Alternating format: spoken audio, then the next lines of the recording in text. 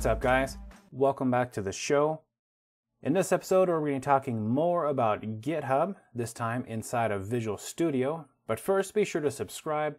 And if you like the channel and the content, go over to our Patreon page and show your support there. All right, so GitHub has an extension for Visual Studio. And let me tell you, this thing is pretty great.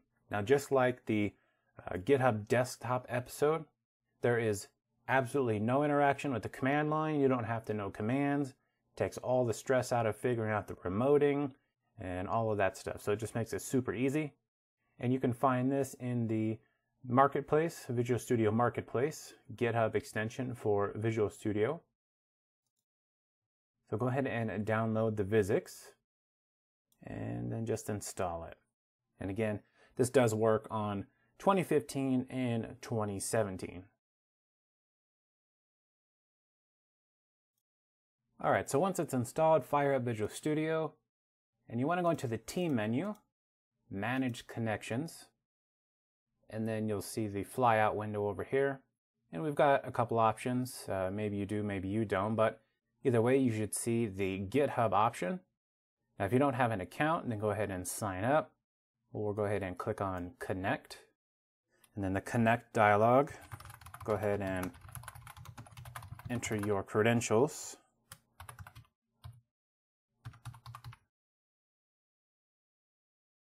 Now, once you've entered your credentials, you'll see up here uh, GitHub. You can clone, create, and sign out.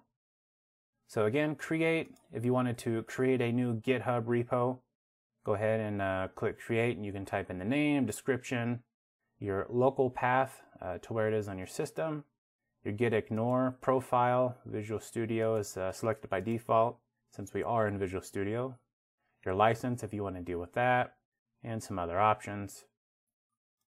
We're not going to do that. We're going to go ahead and clone. Now I already have a repository, or actually several repositories. So in the clone window, it'll show you everything that you have uh, either created yourself or that you have forked. So I'm going to go ahead and use my FluentGuard project again. I don't like this path, so actually Let's go over here uh, to Team Explorers, Team Explorer, click Home, and I'm going to choose Settings, Global Settings, and I want to change my path to something else. There we go. So in here you can change your username, your email address, your default repository location, which is what we just did. Uh, and then there's some other options in here. Commit changes after merge by default, enable push force, and then of course you can use uh, or change and set up your uh, diff tools and your merge tools. By default, they're set to use Visual Studio. And I like Visual Studio, so I'm going to leave those there. So update that. Now we'll go back home. And then actually we'll come up here to manage connections. And then we'll go back to clone and FluentGuard And now our path is set to dgit, and that's what we want. So let's clone that. So now we've cloned our repo, and you can see down here which repo you're in. Uh, down here at the bottom, we are in the FluentGuard repo, and it tells you what the path is. And next to that, we can see which branch we're in. So this is how we, or at least one way that we can manage branches. Okay, so now let's head back over to Team Explorer and now you'll see the repository was cloned successfully.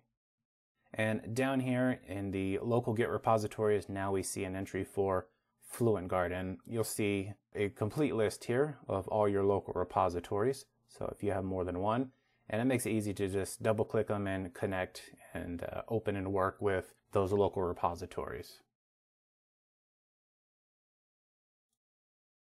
Okay, so now that we have a repository, we have a couple more options on the home screen.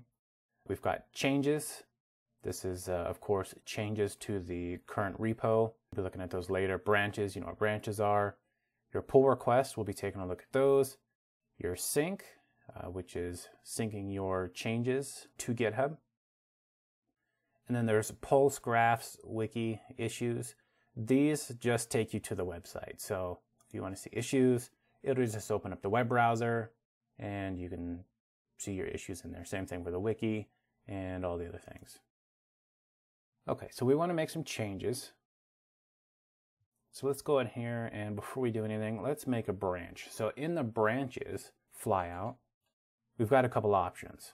Now we can see here Fluent Guard, that's our project, and we have one branch master, and then we have our remotes down here, our origin, and it's pointing to master. Okay, so we're just going to create a new branch and we'll call this bug fix. Create the branch.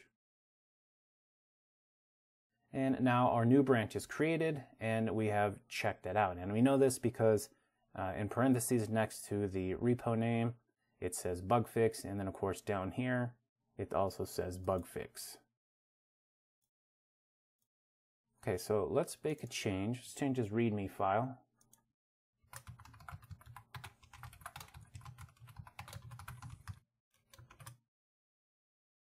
Okay, so we've made a change. Let's save it. Now there's a couple options that we have here. If we right click on this file, now one thing that I like is we can compare with unmodified. Now what this does is it compares your local edited version to what is currently committed to the repository. And so when we compare, we can see our local changes over here on the right and what's in the repo that has been committed over here on the left. Okay, so now that we're good with that, we can go back to Team Explorer and then go back to Home. And now we can go to Changes. So in changes, we see quite a lot going on here.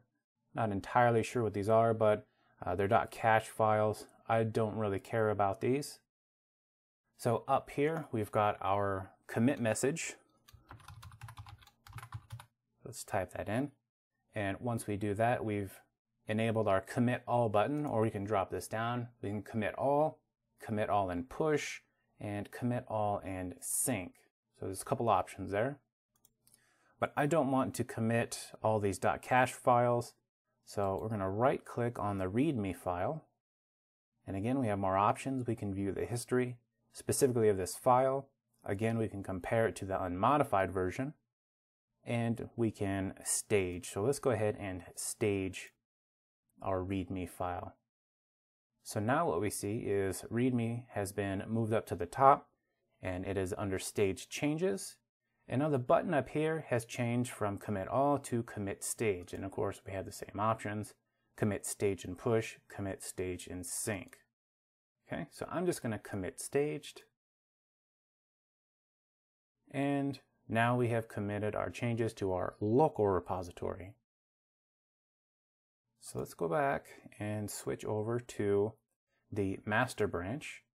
And again, we can come back in here and we can right click on our master branch and check out or we can come down here and click on our bug fix which is our current branch and we can choose master from the list.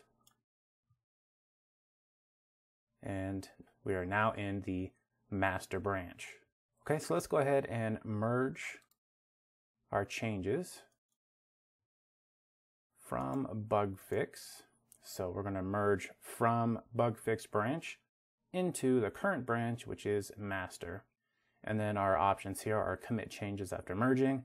That's fine. Let's go ahead and do that. Okay, so now we have merged our changes from the bug fix branch into master. And now if we're done with bug fix, we can go ahead and right click on it and delete.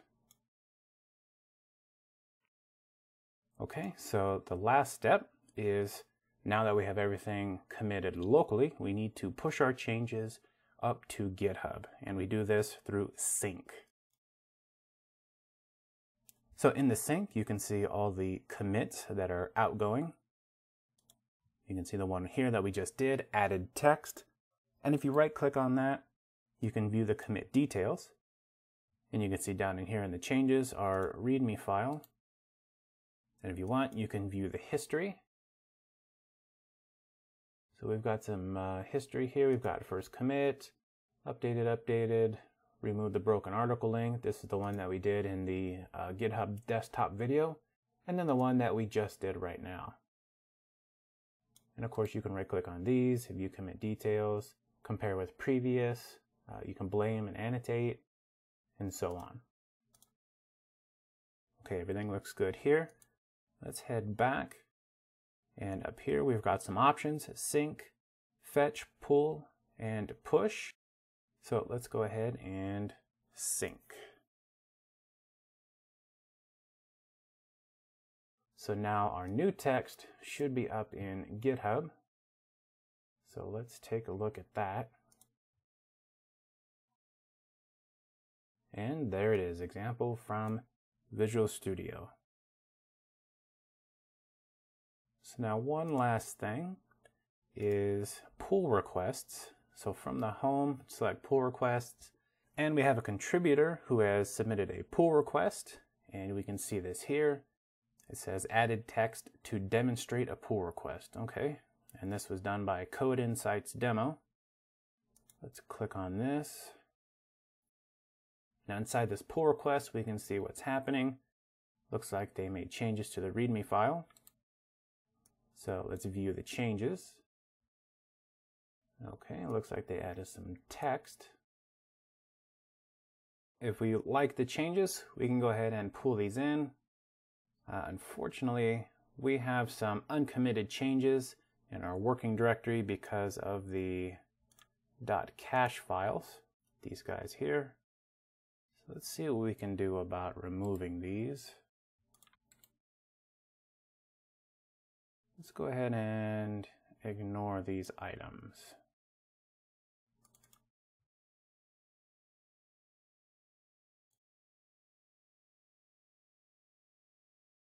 That looks good to me. So let's go back home, check on changes, and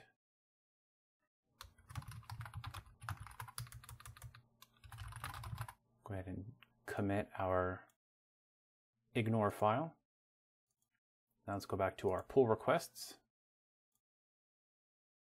And now it looks like we're good to go. Click on that. So now the pull request text has come in.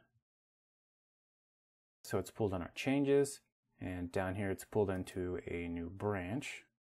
So let's switch back over to master. And we can go back to branches and let's merge from our pull request branch. And there seems to be a conflict. Let's see what that is.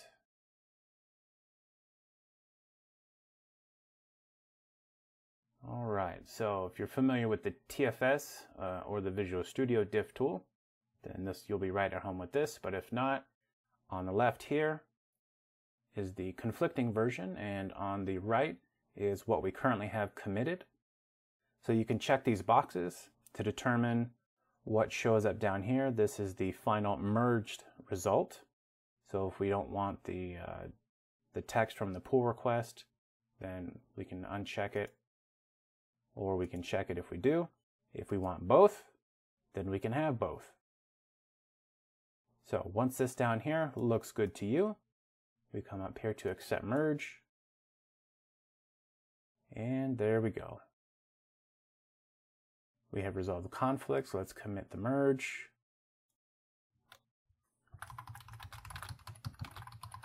and merge from pull request. Okay. Let's go home, changes, there's no changes. Back to home, sync. And so we have a couple things that we need to sync up. So if we wanted to sync those and push those back to GitHub, then we do like we did earlier, click sync, and we'd be done.